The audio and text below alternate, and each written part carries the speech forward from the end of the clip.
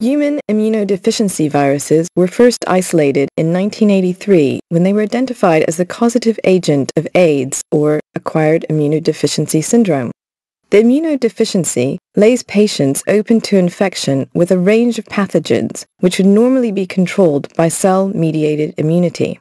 For example, individuals can develop infection of the mouth and other mucosal tissues with the fungus Candida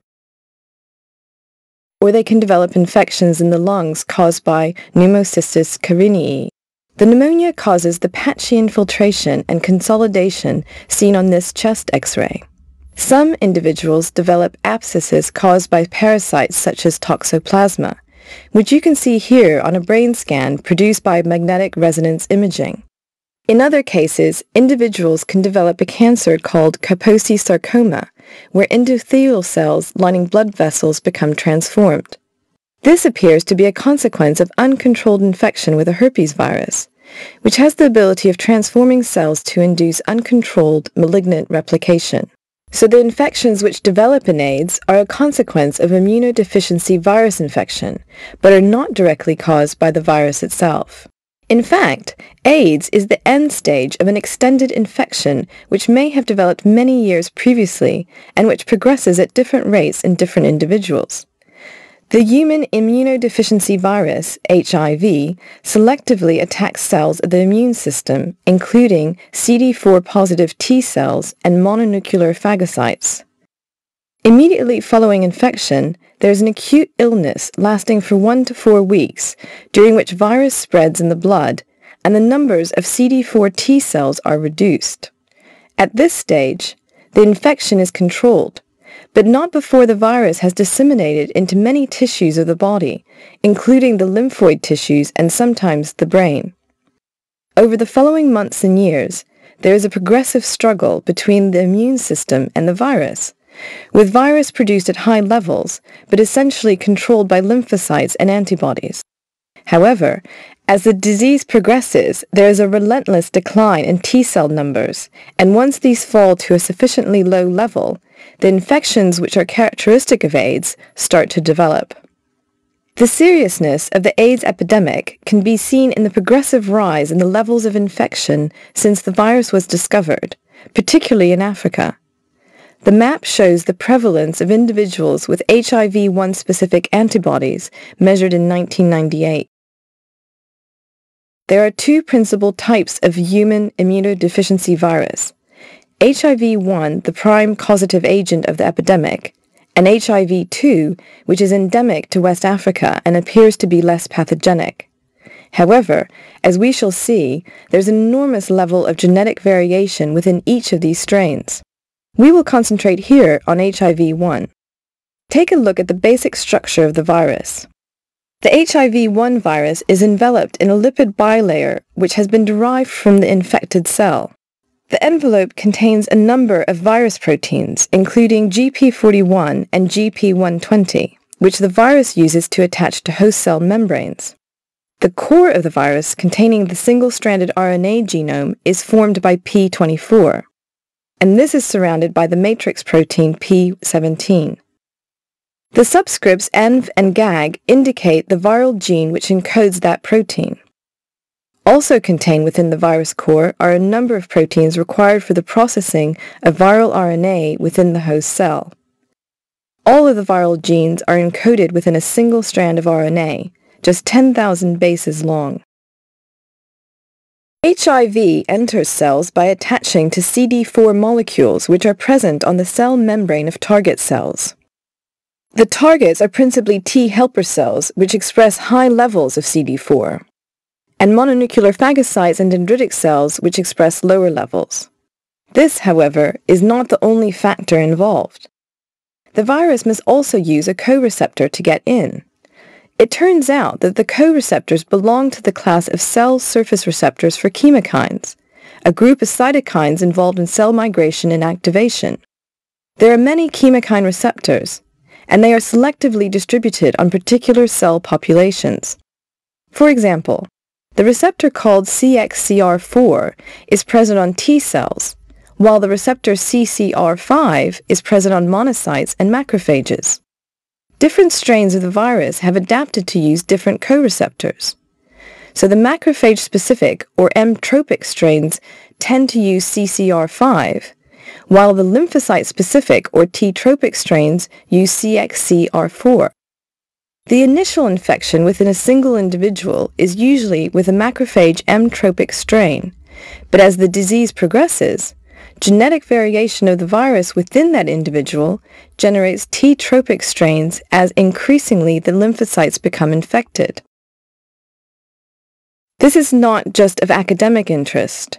A proportion of individuals, about 20% in Europe, have a mutated form of CCR5 which cannot be used by the virus as a co-receptor. Consequently, individuals who are homozygous for this mutation, that is, about 1% of the population, are less likely to become infected with HIV, and if they do become infected, the disease progresses more slowly. You can see this in the bar chart which shows the population frequency of the normal CCR5, the number of individuals who are heterozygotic, and the number who are homozygotic. The normal Caucasian population is shown in red, and individuals with HIV infection are in green. The CCR5 mutation is underrepresented in people with the infection. Interestingly, having the mutation does not appear to significantly impair the working of the immune system. Other mutations in chemokine receptor genes also appear to affect the rate of disease progression.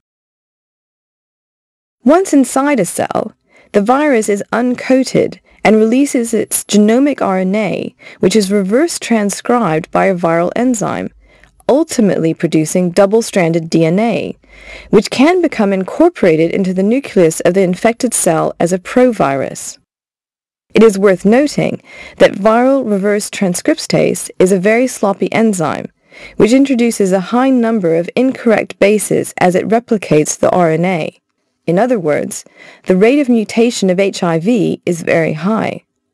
If the provirus is activated, the proviral DNA is transcribed, and genes for viral proteins are translated. The core and matrix proteins now assemble around the viral RNA to produce new virions, while envelope proteins are inserted into the host cell membrane. New virus is then produced by budding from the cell membrane. Infection with HIV induces both antibody responses and cytotoxic T cells. The cytotoxic cells recognize peptides derived from several of the different viral proteins. Naturally, the exact part of an antigen which is recognized depends on the way the antigen is processed and presented, which is largely determined by the MHC molecules present in each individual. An example is given of a peptide of the P24 antigen, which binds to the MHC class I molecule HLA-B27. The peptide of 10 amino acid residues is anchored to B27 via two residues indicated by the black arrows. Despite the potential variations in antigen presentation, some peptides such as this appear to be dominant in inducing immune responses, meaning that several different patients produce cytotoxic T cells which recognize the same segment of an antigen. However, as soon as an individual makes an immune response against a dominant epitope, it exerts selective pressure on the virus to mutate that region. This phenomenon is called virus escape. In the example, one patient developed a mutation in the arginine residue, which prevented it from binding to HLA-B27. So his cytotoxic T cells could no longer recognize virally infected cells. The mutant virus rapidly spread, and this was accompanied by a fall in the number of CD4 T cells and disease progression. Neutralizing antiviral antibodies develop relatively slowly after infection. Many of these antibodies are directed against specific peptide regions in the envelope protein GP120. The molecular model shows the GP120 envelope protein in dark blue with its associated carbohydrate units in yellow. Part of a CD4 molecule is shown in violet, and the binding site for CD4 on GP120 is clearly seen. The FAB arm of a neutralizing antibody is shown binding to a different area of GP120. The sites which bind antibodies are often highly variable between different isolates of HIV, even from a single individual, which has led to the idea that the neutralizing antibodies exert a strong selective pressure on the virus, favoring mutations. One problem with a highly mutable virus such as HIV is to sort out which mutations have occurred at random and which have been the result of selective pressure exerted by the immune system. It is possible to do this by distinguishing viral mutations which produce no change in the protein structure, so-called silent mutations, from those which do. If the numbers of such active mutations in a gene segment greatly exceeds the number of silent mutations, it implies that selective pressure has acted on the gene for that protein or that epitope, so that it avoids recognition by antibody. The high level of viral mutation and viral escape from immune control is the reason that it has been very difficult to devise an effective vaccine for AIDS. An effective immune response will exert selective pressure, favoring any virus which has mutated the epitope recognized by the immune system. Mutation and selection in HIV can be seen even in individual patients with AIDS. For example, when virus is isolated from different parts of the body of a single person, it is possible to construct phylogenetic trees which show the relationship between isolates from different organs.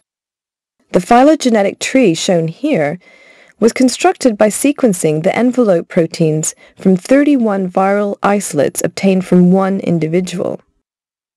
The isolates came from different parts of the brain, monocytes, bone marrow, lymph nodes, and lung. It is interesting that the isolates from the white matter in the brain are similar to those in the monocytes and less similar to those in other parts of the brain, suggesting that the brain became infected from the blood on several occasions. The horizontal scale shows the percentage difference in sequence between branch points of the tree.